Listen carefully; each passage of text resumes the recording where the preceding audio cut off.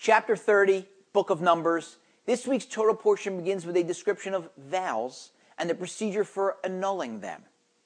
Of course, our most famous procedure for annulling vows occurs at the beginning of the Yom Kippur service during the haunting prayer of Kol Nidre.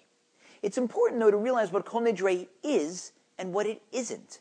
If you make a vow to repay a loan or to do something for someone or in a business deal, you've got to keep that promise. Kol Nidre doesn't wipe it out. To claim that Jews don't keep their word because they wipe out all their vows in Kol Nidre is a bunch of anti-Semitic hogwash. So what is Kol Nidre and what is this Torah portion all about? What types of vows are we annulling? The types of vows that add on religious obligations. For example, we have an obligation to give between 10 and 20% of our net income to charity.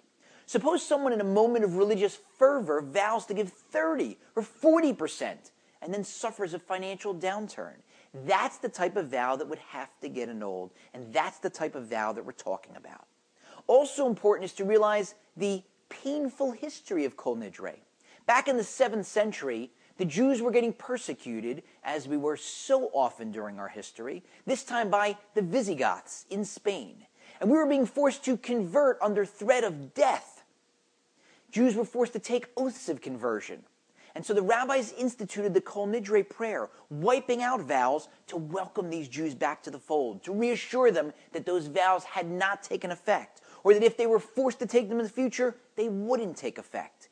Think of how serious those Jews took their word, took their vows. They were worried that vows made under threat of death had taken effect and had to be wiped out.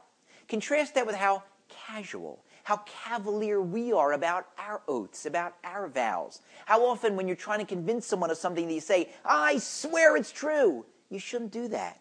And how often do we use four letter swear words like drat or darn or, well, you get the picture. I heard a story recently about a rabbi who was so careful about his words that if he'd walk into someone's house during a rainstorm, dripping wet, and someone would say, Oh, it's raining out, he'd say, Well, it was a minute ago when I was outside. Not because he was being sarcastic, but because he was so careful. He was worried maybe in the minute that had just elapsed, it had stopped raining. If only we could be that careful. Now, that may be too serious a level for us to get to that rabbi's level, but can't we at least work on reducing our use of swear words?